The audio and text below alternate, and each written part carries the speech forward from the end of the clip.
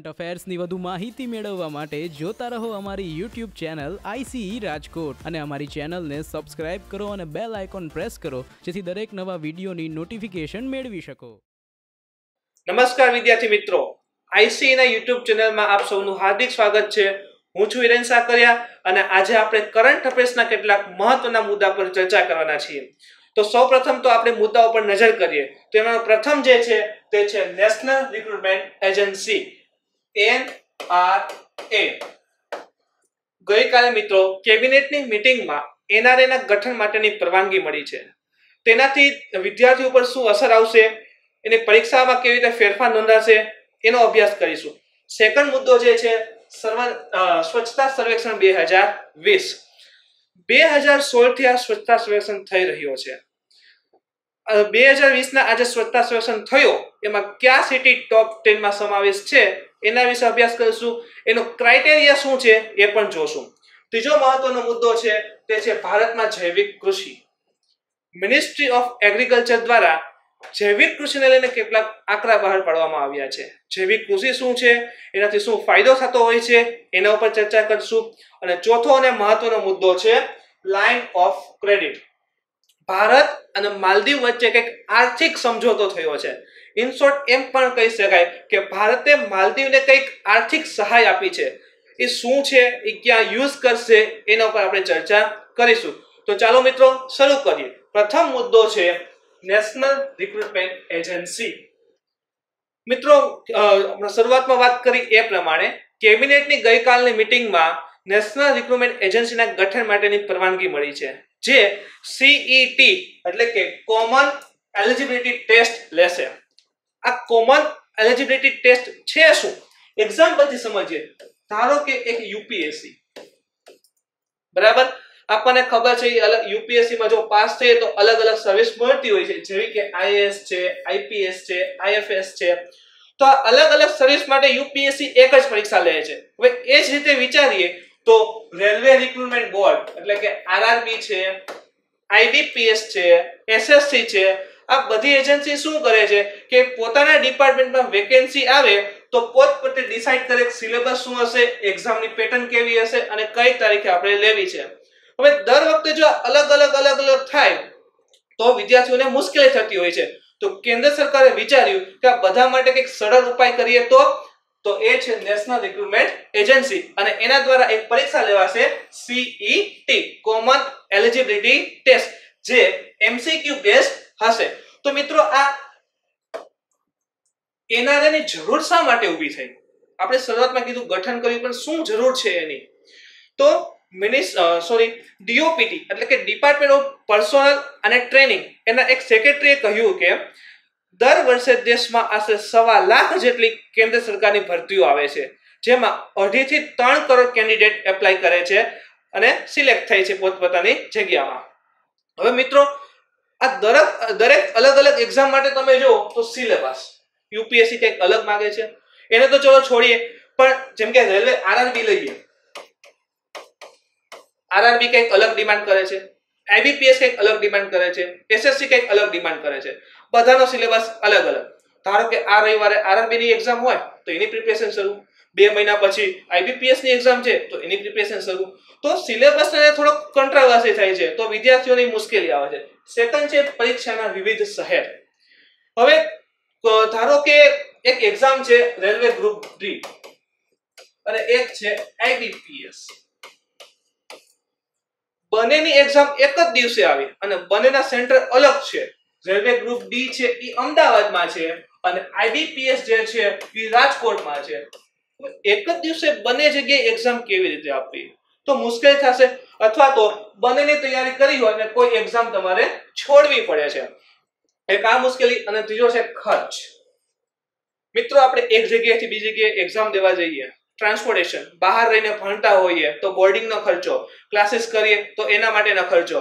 તો જે financial burden છે ને વિદ્યાર્થીઓ માટે, એ ઓછું કરવા માટે આ એના સૌથી વધારે ઉપયોગી નીવડશે.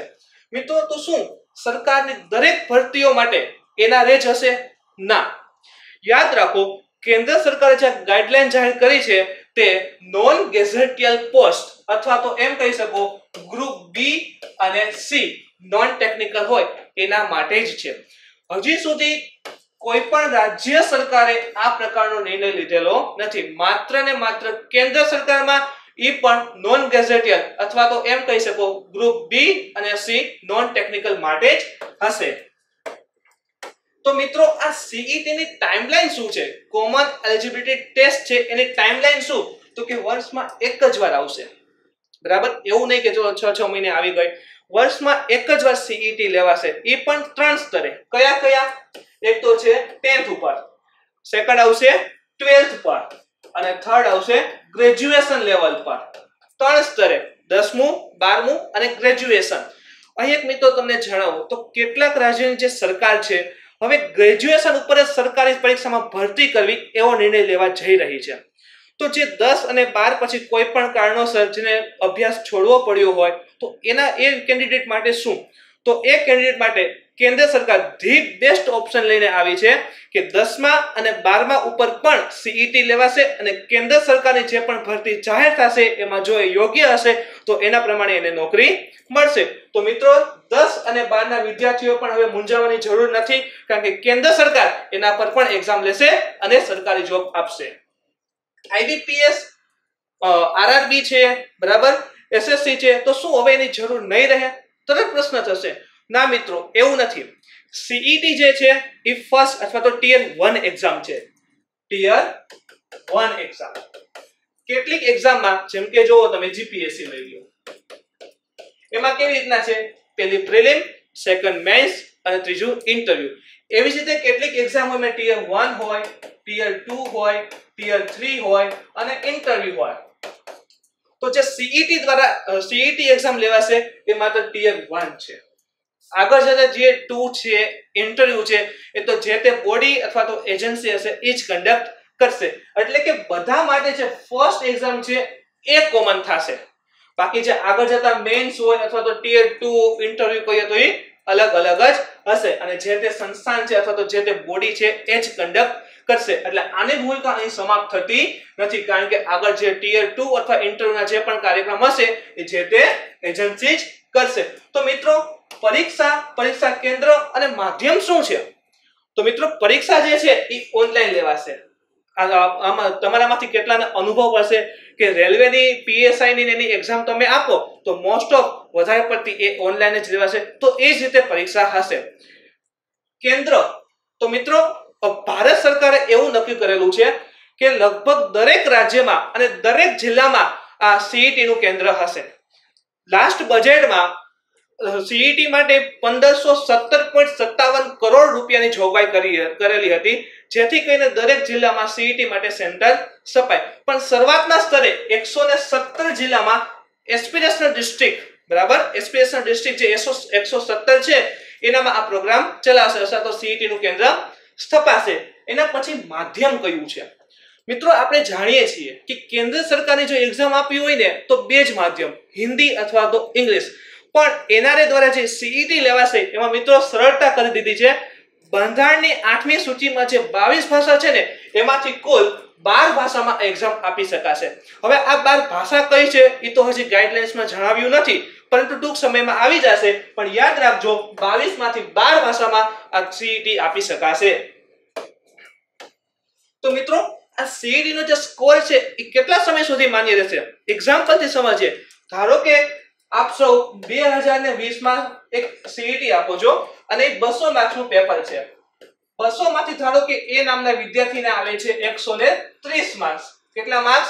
એકસો ને ત્રીસ માર્ક્સ. હજી એને અસંતોષ છે. તો બે હજાર ને એકવીસમાં ફરી એક્ઝામ આપશે. અને એમાં ધારો કે મેળવે છે સો માર્ક્સ તો જુઓ બે હજાર ને એકવીસમાં એક્ઝામ આપવા ગયા અને માર્ક્સ તો ઘટી ગયા. ત્યારે અફસોસ થાય કે બે હજાર વીસ ના સારા હતા. તો મિત્રો, આ અફસોસ ન થાય એ માટે કેન્દ્ર સરકારે કેવી જોગવાઈ કરી કે તમે બે હજાર વીસમાં આપી છે, એકસો ત્રીસ છે, તો એ તમારા જે માર્ક છે એ ત્રણ વર્ષ માટે વેલિડ હશે.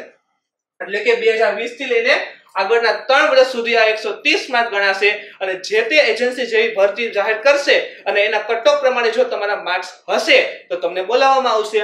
મિત્રો, સીઈટીના ક્રાઇટેરિયા કયા કયા છે? તો એમાં પ્રથમ છે એટેમ્પ્ટ તો હમણાં શરૂઆતમાં કીધું એમ, વર્ષમાં એક વાર આ પરીક્ષા આવશે. અને સેકન્ડ થિંગ કેટલી વખત એટેમ્પ આપી શકો, કેટલા કેટલા વર્ષ સુધી આપી શકો, એને લઈને વાત કરીએ તો અનલિમિટેડ એટેમ્પ છે. એક્ઝામ્પલ તરીકે જોઈએ યુપીએસસી માં ઓપન કેટેગરીમાં જે વિદ્યાર્થી આવતા હોય, એ બત્રીસ વર્ષ સુધી અને છ એટેમ્પ આપી શકે છે. હજી સુધી સીઈટી માટે કેટલા એટેમ્પ હશે એવી કોઈ જોગવાઈ છે નહીં. બસ વર્ષમાં એક વાર આવશે, પણ એટેમ્પ હજી સુધી અનલિમિટેડ છે એમ કીધું છે. એજ લિમિટ કેટલી છે? તો એ જરૂર આપવામાં આવશે, પણ હજી ગાઈડલાઇન્સમાં કીધેલું નથી. અપર એજ લિમિટ હશે કે તમે જેમ કે યુપીએસસી માં ઓપન માટે બત્રીસ વર્ષ સુધી આપી શકાય છે, એવી અપર એજ હશે. અને રિઝર્વેશન મિત્રો, બંધારણમાં પણ જણાવ્યું છે એ પ્રમાણે શૈક્ષણિક અને સામાજિક જો પછાત વિસ્તાર હોય, એ એ વિસ્તારમાંથી જો કોઈ વિદ્યાર્થીઓ આવતા હોય, તો એ આગળ વધે. એ પ્રમાણે પોઝિટિવ ડિસ્ક્રિમિનેશન દ્વારા એને રિઝર્વેશન અપાશે. એની જે અપર એજ લિમિટ છે, એમાં એને છૂટછાટ મળવા પાત્ર હશે. એના ઉપર આટલું બધું સરકારે આપ્યું છે, એના ફાયદા શું? તો સૌથી મોટો જે એક્ઝામમાં વિલંબ થાય છે ને, એ હવે હું નામ તો નહીં આપું, પણ આપણને ખબર છે કે કેટલીક એક્ઝામ છે ત્રણ ત્રણ ચાર ચાર વર્ષ સુધી ખેંચાય છે. અને છતાં એમાં ભરતી થતી નથી. એક એક્ઝામ્પલથી સમજીએ. ધારો કે આરઆરબી છે. એક છે આઈબીપીએસ હવે મિત્રો આરઆરબી છે આઈબીપીએસ એ કેટલાક વર્ષોથી પરીક્ષા લે છે. ધારો કે રેલવે રિક્રુટમેન્ટ બોર્ડે ચાલુ કરી છે. બે હજાર વીસથી ચાલુ કરી. પ્રથમ એ પ્રિલિમ લેશે, એનું રિઝલ્ટ થોડાક ટાઈમ પછી બહાર પડશે. પછી એ મેન્સ લેવા જશે, એનું રિઝલ્ટ થોડાક સમય પછી બહાર પડશે. અને પછી એ ઇન્ટરવ્યુ લેશે. તો ઘણો લાંબો સમય નીકળી થાય છે. બરાબર છે? અને કેટલાકથી તો એજ પણ નીકળી જાય, એવું થતું હોય છે. તો આ જે વિલંબ થાય છે ને સરકારી ભરતીમાં, એ દૂર કરવા માટે આ સીઈટી બેસ્ટ ઓપ્શન તરીકે ઉભરી આવ્યું છે. સેકન્ડ થિંગ સરકારના કેટલાક ડિપાર્ટમેન્ટે એવું પણ જાહેર કર્યું છે કે અમે સીઈટીનો જે સ્કોર હશે, એના ઉપર ડાયરેક્ટ ભરતી કરી લેશું. અમારે ટીયર ટુ કે ઇન્ટરવ્યુ જરૂર રહેશે નહીં.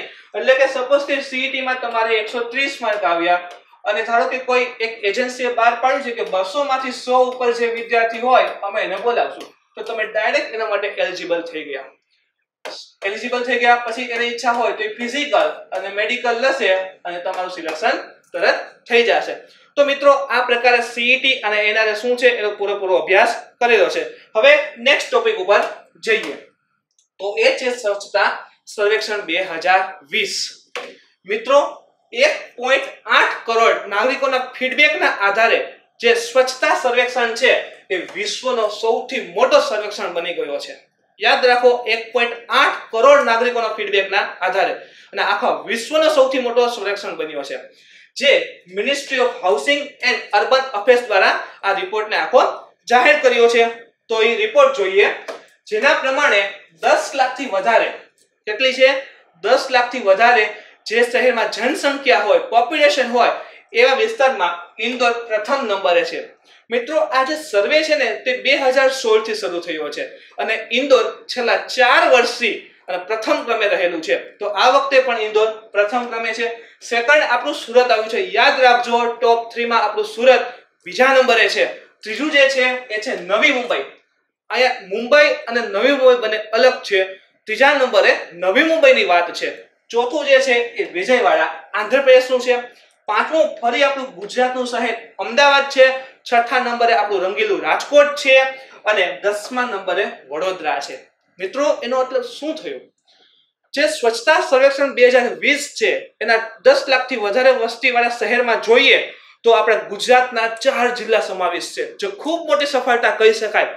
હવે એ સાથે દસ લાખથી ઓછી વસ્તીવાળા, એટલે કે એક દસ લાખની જ્યાં જનસંખ્યા હોય, એનો રેન્ક જોઈએ તો એમાં પ્રથમ ત્રણ તો સેમ છે, ઇન્દોર, સુરત અને નવી મુંબઈ. ચોથા ક્રમે છે અંબિકાપુર, છત્તીસગઢમાં આવેલું છે. અને અમદાવાદ જે છે, એ સાતમા ક્રમે છે. અગિયારમા ક્રમે આપણું રાજકોટ છે. તો યાદ રાખજો, દસ લાખથી ઓછી પોપ્યુલેશનમાં જણાવે તો રાજકોટ અગિયારમું, સુરત બીજું અને અમદાવાદ છે સાતમું છે. અને દસ લાખથી વધારે જણાવે તો સુરત બીજું જ છે. અમદાવાદ પાંચમું, રાજકોટ છઠ્ઠું અને વડોદરા દસમા નંબરે આવેલું છે. મિત્રો, આ સર્વેક્ષણ જે કર્યો, એનો આધાર શું છે? તો સૌથી પ્રથમ છે સ્વચ્છ પાણી. દરેક શહેર અથવા તો ગ્રામ્ય વિસ્તારમાં દરેક લોકો સુધી સ્વચ્છ પાણી પહોંચી વળવું જરૂરી છે. સેકન્ડ છે શૌચાલયની સુવિધા. બરાબર? અને થર્ડ છે ઘન કચરાનો યોગ્ય નિકાલ. હવે એક થ્રી આર પોલિસી છે અને યાદ રાખજો. થ્રી આર રિડ્યુસ રીયુઝ અને રિસાયકલ રિડ્યુસનો અર્થ શું થશે? કે શક્ય હોય ત્યાં સુધી કચરો કરવો. અથવા તો એમ કહી શકાય કે જરૂરી નથી તો જે પણ વસ્તુ પ્રદૂષણ કરે છે એનો ઉપયોગ ટાળો.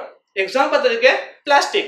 સેકન્ડ છે રિસાયકલ હવે સપોઝ તે જરૂર પડે છે ક્યાં ક્યાં પ્લાસ્ટિકનો ઉપયોગ થઈ રહ્યો છે, તો એ પ્લાસ્ટિકને ફેંકી નહીં દેવાનું.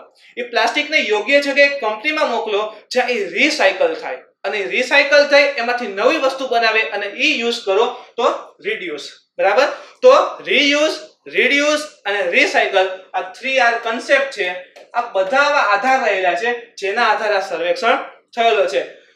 આપણા ભારતના વડાપ્રધાન શ્રી નરેન્દ્ર નરેન્દ્રભાઈ મોદીએ પણ આ વસ્તુને ટ્વીટ કરી અને જે પણ સહયોગ ટોપમાં રહ્યા છે એને અભિનંદન પાઠવ્યા હતા. મિત્રો, એના પછીનો જે નેક્સ્ટ ટોપિક છે, એ છે ભારતમાં જૈવિક કૃષિ. તમને શરૂઆતમાં જેમ કીધું કે એગ્રીકલ્ચર મિનિસ્ટ્રી દ્વારા જૈવિક કૃષિને લઈને કેટલાક આંકડા બહાર પાડવામાં આવ્યા છે.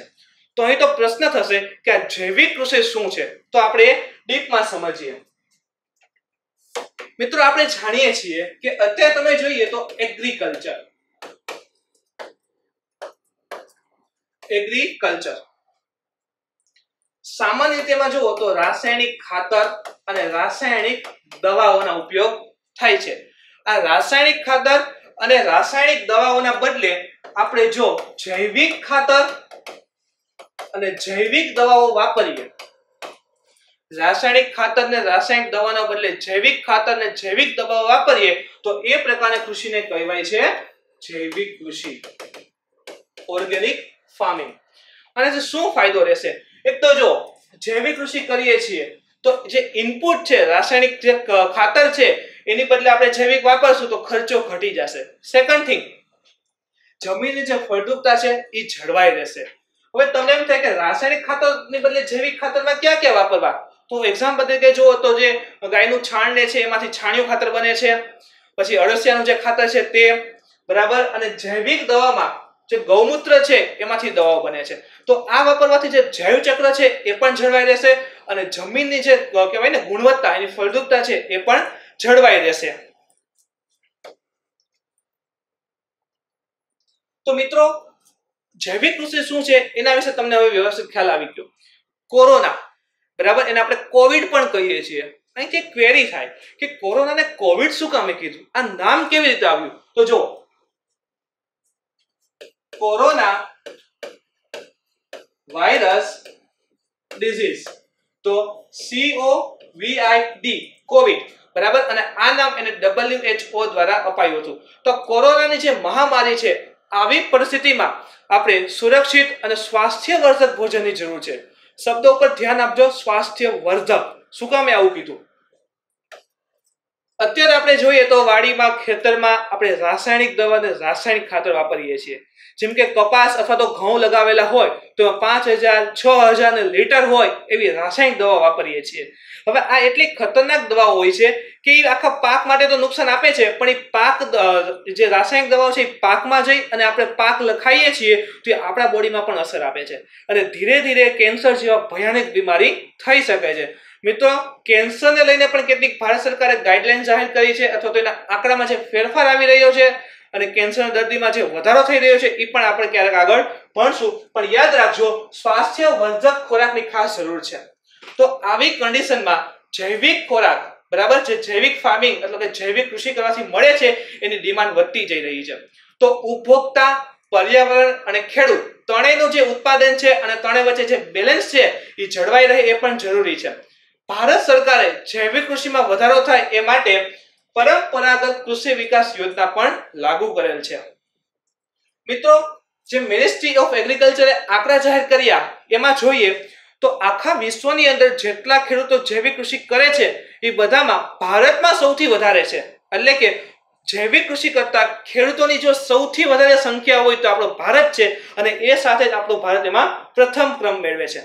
સેકન્ડ ક્રમે તમે જુઓ તો કે જૈવિક કૃષિ અંતર્ગત કુલ ક્ષેત્રફળ સૌથી વધારે ખેડૂતો આપણા ઇન્ડિયામાં છે. પણ જૈવિક કૃષિ અંતર્ગત જેટલો વિસ્તાર છે, જેટલું ક્ષેત્રફળ છે, એ દ્રષ્ટિએ આપણો ભારત નવમા નંબરે છે. ખેડૂતોની સંખ્યામાં પ્રથમ અને જૈવિક કૃષિ અંતર્ગત ક્ષેત્રફળમાં ભારત નવમા સ્થાને આવેલો છે. મિત્રો, સંપૂર્ણ રીતે જૈવિક કૃષિ કરતું કોઈ રાજ્ય હોય તો એ સિક્કિમ છે. પંદરમી ઓગસ્ટે નરેન્દ્ર મોદી સરના ભાષણમાં આ વસ્તુ અથવા તો આ વાતનો ઉલ્લેખ થયેલો છે. અને ઓલરેડી ઘણી વખત આ પ્રશ્ન આવી ગયેલો છે કે ભારતમાં એવું કયું રાજ્ય છે જ્યાં સો એ સો ટકા જૈવિક કૃષિ થાય છે? તો એકમાત્ર અત્યાર સુધીનું રાજ્ય છે એ છે સિક્કિમ. મિત્રો, ઉત્તરાખંડ જે છે, ત્રિપુરા છે, આ બે, આ બધા રાજ્યો છે એ પણ સિક્કિમ જેવા લક્ષ્ય રાખી અને એ દિશામાં આગળ વધી રહ્યા છે. ખાસ કરીને વાત કરીએ નોર્થ ઇસ્ટ એટલે કે પૂર્વોત્તર ભારત. કઈ જગ્યાએ આવે? તો આપણે ભારત ડ્રો કરીએ.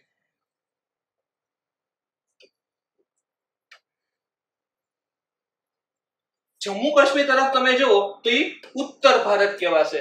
તમિલનાડુ બાજુ, દક્ષિણ ભારત, ગુજરાત બાજુ, પશ્ચિમ ભારત. અને અહીંયા આવે છે પશ્ચિમ બંગાળ ને બિહાર ને એ. પૂર્વ ભારત કહેવાય છે. યાદ રાખજો, પૂર્વ ભારત. અને જે સેવન સિસ્ટર છે, આસામ, અરુણાચલ, મેઘાલય, ત્રિપુરા, બરાબર?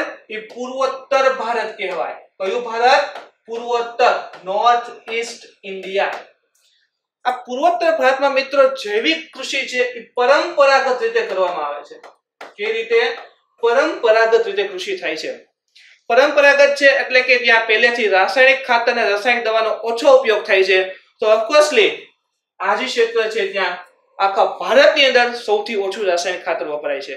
આ ડેટા પણ યાદ રાખજો, પૂછશે કે ભારતના કયા ભાગમાં સૌથી ઓછા રાસાયણિક ખાતર અને રાસાયણિક દવાનો ઉપયોગ થાય છે? તો યાદ રાખજો, ઉત્તર પૂર્વ ભારત. મિત્રો આનો ઘણો ફાયદો છે. જેમ કે જુઓ, તો જૈવિક કૃષિ કરીએ, જૈવિક કૃષિ કરીએ, તો આપણે રાસાયણિક ખાતર અને રાસાયણિક દવાનો ઉપયોગ કરતા નથી, તો એ પૈસાની બચત થઈ. ખેડૂતને એ ફાયદો. બીજી વસ્તુ, જૈવિક કૃષિથી જે પણ ઉત્પાદન આવે છે, એ સ્વાસ્થ્યવર્ધક અને એની ગુણવત્તા ખૂબ વધારે રહે છે. વિદેશમાં આની ખૂબ માંગ હોય છે, એટલે ભારત દેશ દ્વારા એ નિકાસ કરવામાં આવે છે. નિકાસ થશે તો એ પણ વધારે ઉચ્ચ કિંમતમાં થશે. જેનો ફાયદો કોને મળશે? ઇનડાયરેક્ટલી ખેડૂતને મળે છે. તો બે હજાર ને બાવીસ સુધીમાં જે ખેડૂતની આવક ડબલ કરવાનો ઉદ્દેશ્ય છે, એમાં એક સૌથી સારું પગલા તરીકે જૈવિક કૃષિ પણ સમાવિષ્ટ છે. મિત્રો, હમણાં શરૂઆતમાં કીધું એ પ્રમાણે કે જૈવિક કૃષિથી આપણે ઘણી બધું વસ્તુ ઉત્પાદન કરી અને આપણે એક્સપોર્ટ કરશું. તો એ એક્સપોર્ટ થતી મુખ્ય ચીજમાં કઈ કઈ વસ્તુ સમાવેશ છે? તો એક તો અળસીના બીજ છે, ચોખા છે, કેટલીક દાળ છે, આ સાથે તલ છે, બરાબર છે? તો આ બધી મુખ્ય વસ્તુઓ છે જેની આયાત કરી અને ભારતને સારી એવી ઇન્કમ થાય છે. મિત્રો, આના પછીનો નેક્સ્ટ મુદ્દો જોઈએ, તો લાઇન ઓફ ક્રેડિટ શરૂઆતમાં કીધું એ પ્રમાણે, માલદીવ અને ભારત વચ્ચે કંઈક આર્થિક સહાયની વાત આવી છે. માલદીવ જે દેશ છે એને વાયુ, સમુદ્ર, અંતરદ્વીપીય તથા કોમ્યુનિકેશન એટલે કે દૂરસંચાર જેવા ક્ષેત્રમાં અલગ અલગ યોજનાઓ પૂર્ણ કરવા માટે ભારત સરકારે કેટલીક સહાય આપી છે. જેમાં ખાસ કરીને જોઈએ તો એર બબલ એગ્રીમેન્ટ બરાબર? એ ઘોષણા અંદર પહેલી વાત થશે એર બબલ એગ્રીમેન્ટ માલદીવ અને ભારત વચ્ચે એર બબલ એગ્રીમેન્ટથી નિયમિત ધોરણે આંતરરાષ્ટ્રીય હવાઈ સેવા શરૂ થશે. હવે નિયમિત ધોરણે હવાઈ સેવા શરૂ થાય તો શું થશે? માલદીવનું જે પર્યટન છે ને, એ વધશે. એટલે કે ભારતમાંથી દરેક નાગરિક જ્યારે માગે, બરાબર, તો વિઝા સાથે ત્યાં પર્યટન માટે જઈ શકશે. તો અહીંના જે આ જે માલદીવ છે, એ ખાસ કરીને તમે જુઓ તો ટુરિઝમ ઉપર ડિપેન્ડ છે. તો એની આવક છે એમાં વધારો થશે. સેકન્ડ છે કાર્ગો ફેરી સેવા. એ શું છે? તો એ સમુદ્રના માર્ગે જે ટ્રેડ થાય છે, વ્યાપાર થાય છે, એમાં વધારો થશે. અને મિત્રો યાદ રાખો જે વધારે જો વેપારની વાત હોય અથવા તો મોટી સંખ્યામાં, વધારે સંખ્યામાં જો આપણે વેપાર કરવો હોય, વસ્તુ એક જગ્યાએથી બીજી જગ્યાએ મોકલવી હોય, તો એ સમુદ્ર માર્ગ સૌથી સસ્તો રહે છે. તો કાર્ગો ફેરી સેવામાં લાભ થશે. દૂર સંચાર કનેક્ટિવિટી માટે અંતરસાગરીય કેબલ. મિત્રો, આ ભારત માટે પણ હમણાં તાજેતરમાં આવેલું હતું કે જ્યારે ભારતના વડાપ્રધાન નરેન્દ્રભાઈ મોદી અંદમાન નિકોબારની મુલાકાતે ગયા હતા ત્યારે એને જાણ થઈ કે અહીંયા ઇન્ટરનેટ સેવા છે એ ખૂબ ધીમી આવે છે. તો એને શું યોજના બહાર પાડી હતી? કે ચેન્નઈથી લઈ અને અંદમાન નિકોબાર અંતરસાગર એટલે કે સમુદ્રમાં, બરાબર ઓપ્ટિકલ ફાઈબરનો ઉપયોગ કરી અને સુવિધા પૂરી પાડી હતી. તો આ જ રીતે માલદીવમાં પણ આવી કંઈક યોજના ચલાવાઈ રહી છે. શું ફાયદો થાય ઇન્ટરનેટથી? મિત્રો, એક સિમ્પલ એવી તમને એક વાત કહું. આપણે ફરવા જતા હોઈએ. બરાબર? તો આપણે પેલું શું કરીએ કે જે પણ વિસ્તારમાં ગયા હોઈએ, ત્યાં સેલ્ફી લઈ અને અપલોડ કરીએ. બરાબર ને? તો આ માટે શું જોઈએ? ઇન્ટરનેટ જોશે. તો જ્યાં ઇન્ટરનેટ સેવા ઓછી છે, તો એ ઓટોમેટિક એ વિસ્તાર પર્યટન માટે ધીરે ધીરે ધીરે પીછેહટ થતો જાય. સેકન્ડ થિંગ જ્યાં ઇન્ટરનેટ સેવા વધારે આવતી હોય, તો ત્યાંના વિદ્યાર્થીઓ ઓનલાઈન એજ્યુકેશન મેળવી શકે છે. ટ્રેડિંગ વધી શકે છે. બરાબર? તો ઇન્ટરનેટની સેવા ખૂબ જરૂર છે. એ માટે અંતરસાગરીય અંતરસાગરીય કેબલની વાત આવશે. આ વસ્તુ માટે મિત્રો, ભારત દ્વારા પાંચસો મિલિયન અમેરિકન ડોલરની સહાય જાહેર કરાઈ હતી. યાદ રાખજો, પાંચસો મિલિયન અમેરિકન ડોલર. જેમાંથી સો અમેરિકન સો મિલિયન અમેરિકન ડોલર છે એ અનુદાન તરીકે આપેલા છે. એટલે કે એને સહાય પેટે આપી દીધા કે ભાઈ એ તમારે હવે પાછા આપવાના નથી. તો પાંચસો માંથી સો તો એને મદદ માટે આપી જ દીધા. વધ્યા કેટલા? ચારસો. તો જ્યાં ચારસો મિલિયન અમેરિકન ડોલર જે છે એ આપણે લાઈન ઓફ ક્રેડિટની રીતે આપેલા છે. તો આ લાઈન ઓફ ક્રેડિટ શું છે? ધારી લો કે આ એ નામનો દેશ છે અને એક આ બી નામનો દેશ છે. એ દેશ દ્વારા બી ને કીધું કે ભાઈ તમને હું ચારસો રૂપિયાની લાઈન ઓફ ક્રેડિટ આપું છું. બી ને એની યોજના ચલાવી છે. જેમ કે દરેક વિદ્યાર્થીને એક ટેબ્લેટ આપવું છે. જેનો કુલ ખર્ચો થાય છે સો રૂપિયા. કેટલો થશે? સો રૂપિયા. દરેક વિદ્યાર્થીને એક મોબાઈલ પણ આપવો છે. એનો ખર્ચો પણ થશે સો રૂપિયા. તો ટોટલ ખર્ચો થયો બસો. એ દેશ દ્વારા બીને એલઓસી કેટલી અપાણી હતી? ચારસો. જરૂર કેટલાની છે? બસોની. તો આ ચારસો માંથી બી દેશ બસો રૂપિયા વાપરશે. બાકીના કેટલા વધ્યા? બસો. એ એમનેમ રાખશે. જ્યારે જરૂર પડશે ત્યારે વાપરશે. તો ચારસો રૂપિયાની લાઈન ઓફ ક્રેડિટ આપી હતી, પરંતુ એને યુઝ કેટલા કર્યા ખાલી ચારસો માંથી બસો રૂપિયા? તો બી દેશે, એ દેશને માત્ર ને માત્ર બસો રૂપિયા ઉપર જ વ્યાજ આપવાનું થશે.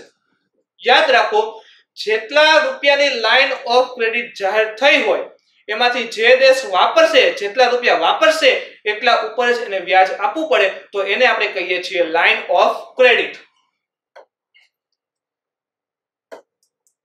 મિત્રો, એક પ્રોજેક્ટની વાત છે G M C P greater Male connectivity project શું છે? આપણે જોઈએ. મિત્રો, માલદીવની રાજધાની છે માલ. કઈ છે? માલે. અને અહીંના મુખ્ય ત્રણ ટાપુ છે વિલિંગિલી, અહીંયા છે વિલિંગિલી સેકન્ડ છે ગુલ હિફાહુ.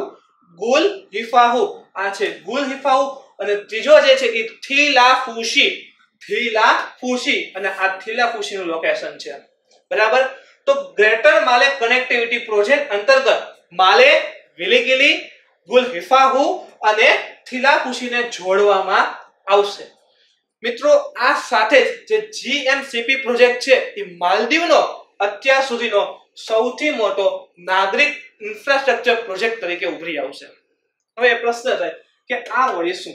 નાગરિક ઇન્ફ્રાસ્ટ્રક્ચર પ્રોજેક્ટ તો લોકોને જે સુવિધા મળી રહે, જેનાથી લોકોને વાહન વ્યવહાર સરળ થાય, અવર જવાનો ટાઈમ ઘટે ઇન એમ કહી શકાય કે એના જીવન ધોરણનું જે સ્તર છે, એ ઉપર આવે, તો એ નાગરિક ઇન્ફ્રાસ્ટ્રક્ચર પ્રોજેક્ટ કહેવાય છે. અને જીએમસીપી અમલમાં આવી જશે, ત્યારથી આ પ્રોજેક્ટ છે, એ માલદીવનો સૌથી મોટો નાગરિક ઇન્ફ્રાસ્ટ્રક્ચર પ્રોજેક્ટ બનશે. યાદ રાખો, જો આ પ્રશ્ન પૂછાવાની શક્યતા રહેલી છે, અને એમાં ખાસ કરીને આવા પ્રશ્ન પૂછાતા હોય છે, કે શું જીએમસીપી એ માલદીવનો સૌથી, અત્યાર સુધીનો સૌથી મોટો નાગરિક ઇન્ફ્રાસ્ટ્રક્ચર પ્રોજેક્ટ હશે. આવી રીતના વાક્ય પૂછે છે.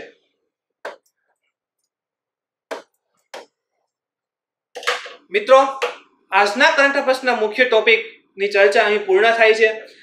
આજના જો ટોપિકમાં તમને કોઈ પણ પ્રકારનો પ્રશ્ન હોય, કોઈ પણ પ્રકારની ક્વેરી હોય, તો તમે મને કોમેન્ટ કરીને પૂછી શકો છો. જો તમને આ વીડિયો ગમ્યો હોય, તો તમે લાઈક કરો શેર કરો અને તમારા મિત્ર સુધી પહોંચાડો, જેથી આનો લાભ દરેક વિદ્યાર્થી લઈ શકે. કાલે ફરી મળીએ નવા ટોપિક સાથે. Thank you